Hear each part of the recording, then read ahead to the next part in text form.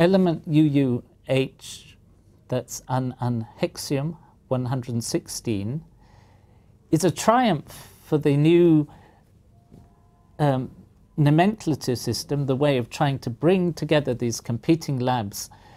who were trying to synthesize the, these elements because the discovery of UUH was announced simultaneously by Russian lab in Dubna and the Lawrence Livermore lab in the United States, showing that at last collaboration had come together and scientists of all countries were working together to try and understand the chemistry of these elements. What exactly the chemistry of UUH is, is still unclear, but again, using Mendeleev's ideas, we can see that this is going to be in the same group as oxygen, sulfur, tellurium, polonium, and so UUH will be rather more reactive than or radioactive than polonium, but will have a similar sort of chemistry.